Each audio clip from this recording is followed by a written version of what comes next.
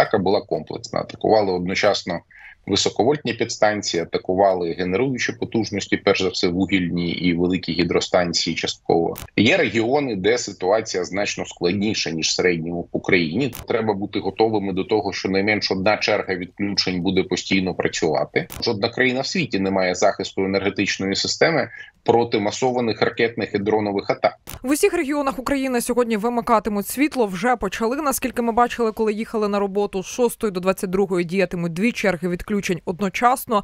Тобто, станом на зараз стабілізувати енергетичну систему України після удару позаминулої ночі не вдалося, наскільки ми розуміємо. Ви абсолютно неправильно розумієте. Світова ситуація стабілізована, але треба розуміти, що в систему прилете прилетіло 120 ракет і велика кількість дронів.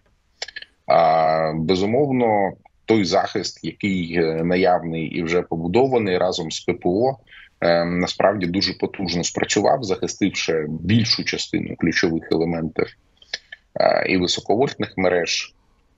І частини генеруючих потужностей, тому що атака була комплексна. Атакували одночасно високовольтні підстанції, атакували генеруючі потужності, перш за все вугільні і великі гідростанції. Частково е, теж були атаковані. Е, відповідно, відбулося наступне: е, є пошкодження, є пошкодження, які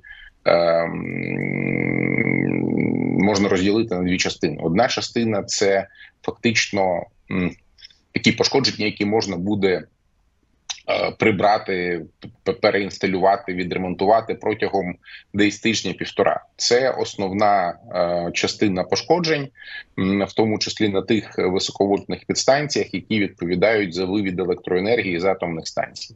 Зараз вивід електроенергії з атомних станцій обмежений. е, На жаль, через саме ті пошкодження, які сталися на підстанціях. Я думаю, що протягом е, від 7 до там 14-15 днів ці пошкодження будуть відновлені, над ними вже працюють, і відповідно відновиться енергопостачання. А вже зараз е, в кількох регіонах енергопостачання відновлено на західній Україні. Е, Там, наскільки я розумію, вже Львівщина має бути сьогодні без обмежень. Можливо, Тернопільщина, Франківщина. Ну але це треба буде уточнювати згідно графіків, які розповсюд- розповсюджує Укренерго і обласні розподільчі компанії. З іншого боку, є пошкодження і генерації, є пошкодження і більш серйозні тих високовольтних підстанцій, де захист збудувати досі не встигли, де і триває робота. Там на відновлення часу знадобиться більше, але що робити зрозуміло, як обходити зрозуміло. Є регіони, де ситуація значно складніша ніж в середньому в Україні. Це перш за все зараз південь, Одещина. Там, на жаль, ем, ну фактично досі режим такого аварійного відключення і досить важкого. І для того, щоб там відновити нормальне нормальну подачу електроенергії, нормальне енергоспоживання, точно знадобиться півтора-два тижні щонайменше.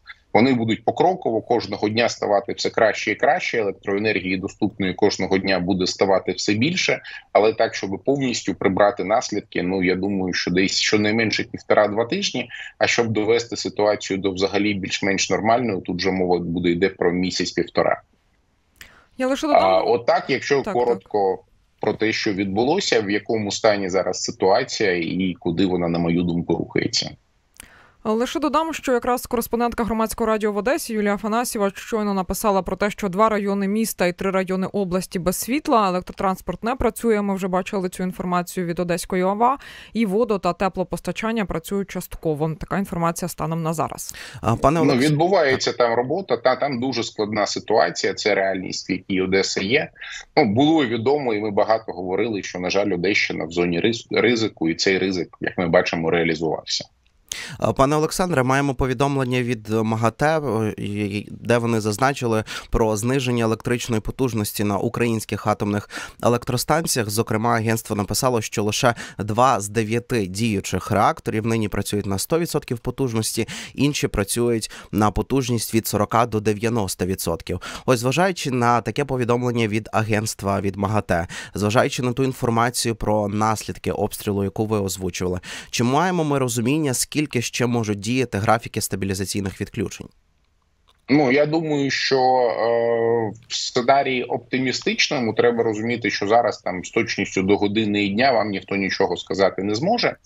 Але при нормальному розвитку події можливо, що вже там на наступних вихідних е, вдасться графіки, щонайменш дуже мінімізувати, можливо, і відмінити на більшій частині території України. А в песимістичному сценарію це десь півтора-два тижні. Президент Зеленський в своєму нещодавньому інтерв'ю українському радіо заявляв, що росіяни будуть бити по енергетиці взимку 24-25 років. Е, і от е, питання: чи готова Україна до таких атак? Чи маємо ми якісь види захисту енергетичної мережі?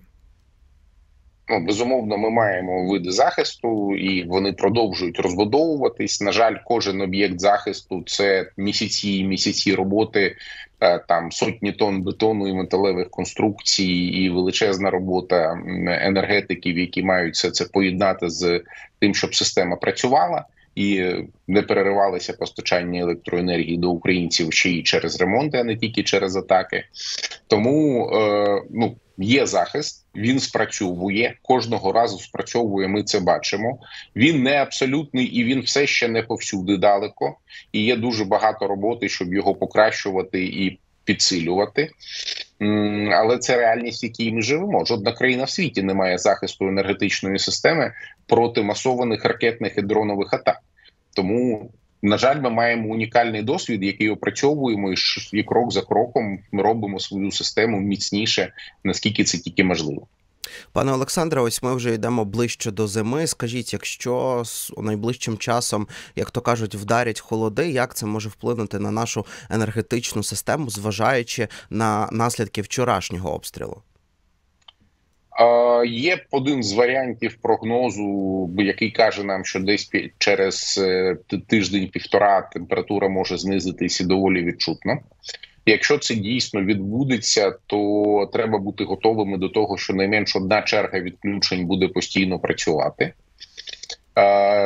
це такий, знаєте, реалістичний сценарій. Він не оптимістичний, не песимістичний, а десь е, е, в такому серед... в середньому положенні. Безумовно, якщо будуть нові атаки, це змінить всі прогнози, змінить ситуацію. Зрозуміло, ще на сам кінець хотіла запитати за Запорізьку атомну електростанцію. 16 листопада російські окупанти пошкодили одну із двох ліній живлення в чергове. Е, чи може станція опинитися на межі чергового відключення і чим це загрожує?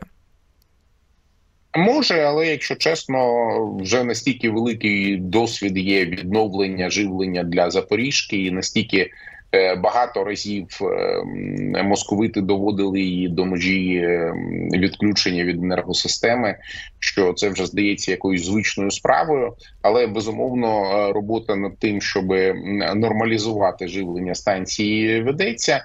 Я не думаю, що будуть якісь катастрофічні ситуації зараз.